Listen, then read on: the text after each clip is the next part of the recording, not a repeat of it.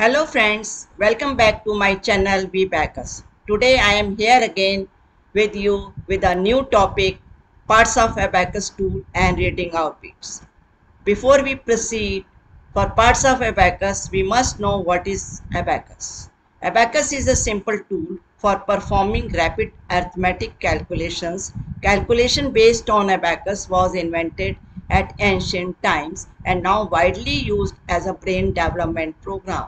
It consists of a rectangular frame holding a number of vertically arranged rods on which beads slide up and down. Now parts of abacus, the outer portion of abacus tool is called frame. This frame is divided into two parts, upper part and lower parts. The beads on upper parts are called upper beads the beads on lower parts are called lower beads. And this frame is divided by value bar. This bar is called value bar. The center dot of this value bar is called unit place and there are black rods they are called rods Now unit place center dot is called unit place. Upper bead the on unit place the value is 5. The lower beads on unit place value is 1. Now reading our beads.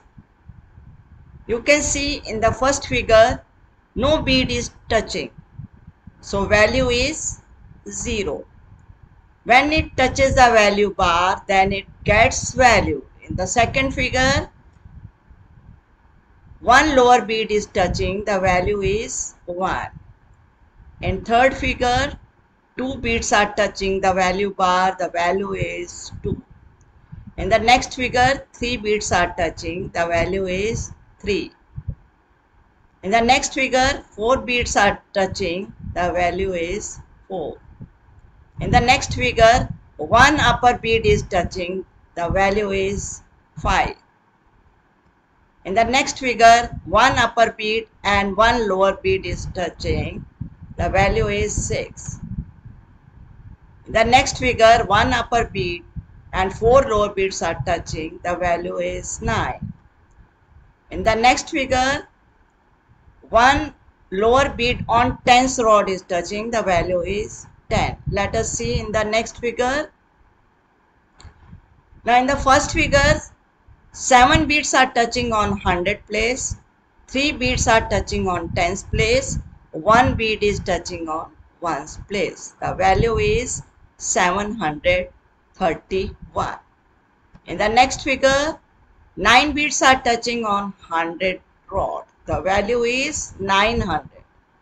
In the next figure, 4 beads are touching on 100 rod, 8 beads are touching on unit place, the value is 408.